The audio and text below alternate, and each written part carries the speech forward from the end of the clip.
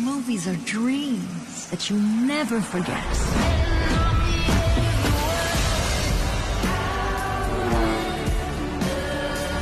It's the most magical place in the world.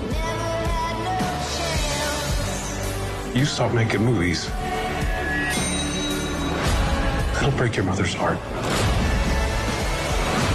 This is larger than any of us.